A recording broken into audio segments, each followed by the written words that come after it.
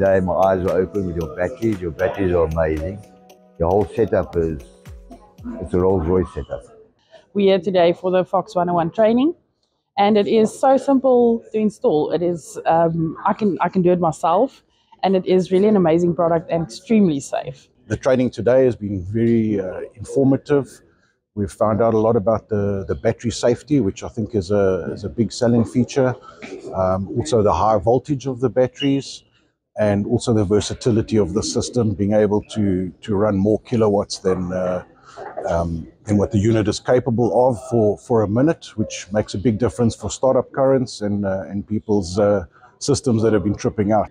We find it was very information. The high information was that it's, it's high in safety, it's a plug and play, simple, it's all made under one, one banner, one roof. So um, the information is great, the, the product is superb, and we'll only be using this in the future. Yeah, we had a little training on the Fox and uh, you know, the, the different sizes. Uh, I was amazed with the inverters, the batteries, especially the batteries. Um, the fact that there's four MPPTs, uh, it's a game changer. Uh, the fact that there's uh, different sizes, I think that's going to change the whole game.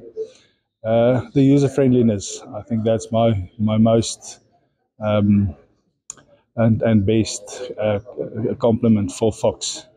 And um, yeah, so from here we're going to install a lot of Foxes. Things I enjoyed about today was the fact that the system is so simple to install.